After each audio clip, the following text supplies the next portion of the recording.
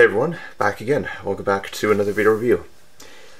This time we're going to be taking a look at the Transformers Generations Kingdom Voyager class Inferno. As you can see, looks amazing. His ultra mode is that of a fire truck. Looks impressive. His primary colors mostly red, silver, black. Gray has an Autobot symbol right in the front. Looks amazing. Nothing on the back, but what can you do? He's a repaint and a retool of Grapple, which is amazing from Earthrise and just looks amazing. Um, will he appear at the time of recording? Will he appear in uh, Kingdom? Maybe hard to say. Anyways, so Inferno comes with a bunch of accessories. Comes with these um, what appears to be fire hoses wrapped around the sides. Comes with a gun. Comes with the same little nozzle piece as uh, Grapple did. Has a fire hose here. That's about it. The ladder will extend and rise, which is great. It, it, shall rise to the top of the tower, like that, so all the way up. And yes, it will rotate on a very tight joint. So all, all it needs to do is to rotate a full 360 degrees as it snaps. And I broke the figure. I'm just kidding, I didn't break the figure, but anyways, all in all, looks amazing. What can you do? And we're just gonna start removing accessories for the purposes of the transformation. Um, the uh, the transformation is as follows. The transformation, well, as I've said many, many times, is as follows, but oh well. Wheels look great. Love the design. Looks amazing. So what can you do? What the fucking hell am I saying? I'm just kidding. I'm just being silly. Alright. The transformation to robot mode is similar yet different to grapple but some are, some of the bits are the same. So again, unpeg this and whatnot. Get the feet lift up like that.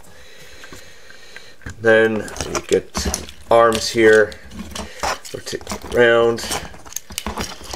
And then we're just gonna, oh yeah, there we go. Then we're going to flip around the fists.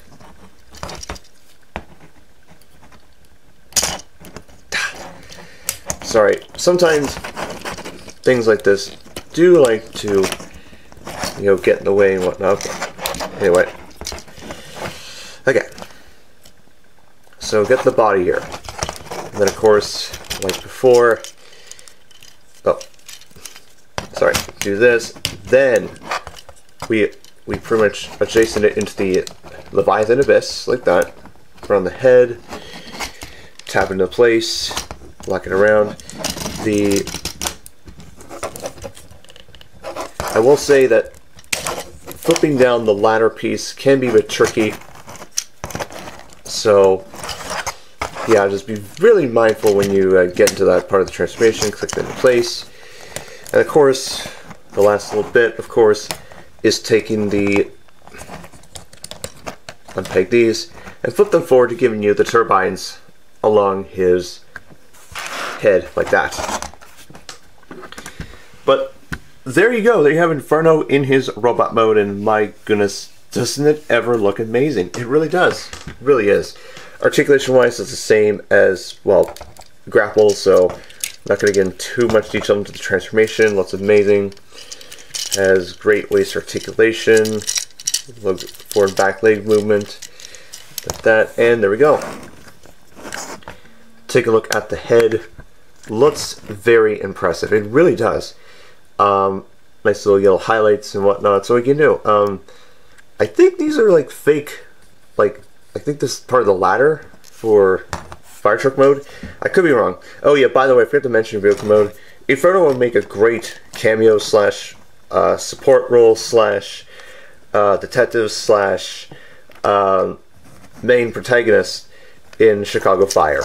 Why? Because I think it would. I think it would be a great little crossover. Just saying.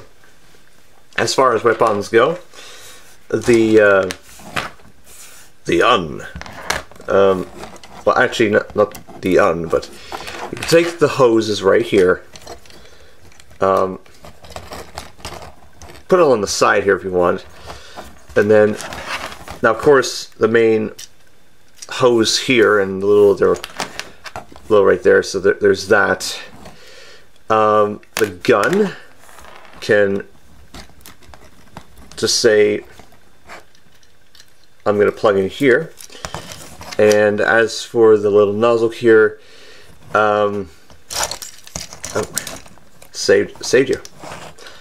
Uh, just plug it into the side here, just for the purposes of the review and whatnot. So all in all, well, I recommend getting Inferno. Absolutely, highly recommend it. Looks amazing. Transmission's fun. Co colors are great. Fire truck mode looks great. His vehicle mode looks amazing. Very vibrant of red and whatnot. And really, it's just a blazing um, experience. Really is. Um, of course, Grapple was amazing at Earthrise. I mean, I'm literally staring at him right now. Um, but Inferno looks equally amazing as well. His involvement in in the Earth in the in Kingdom for the War for Cybertron trilogy that will be something to behold. Even though we've got well a handful of episodes left until that trilogy concludes, but as far as I know, Inferno looks great. Highly recommended purchase. We just went by one bit. Looks amazing to say the least. Looks epic every each way possible.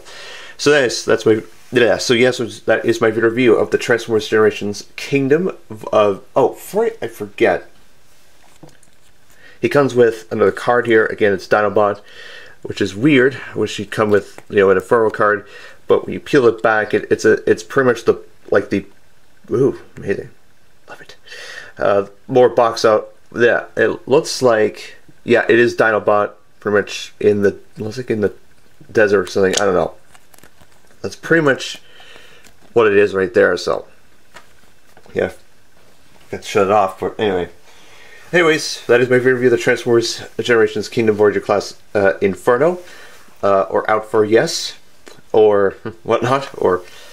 But imagine if we get Beast Wars Inferno, the Predacon Inferno from in, in the Kingdom line. It'd be quite amazing. It'd be quite a coincidence. That could that could lead to a possible storyline in Kingdom, whether you know Autobot Inferno becomes the Predacon Inferno. I don't know, or maybe there's at least in Kingdom, we know what what happened with Inferno and Beast Wars and whatnot. But anyway, that's my video review the Transformers Generations uh, Kingdom Voyager Class Inferno. I'll see you all very soon. I'll be back as soon as possible for the next video. Yes, take everyone, see you soon. Good day, and I'll catch you later. Bye.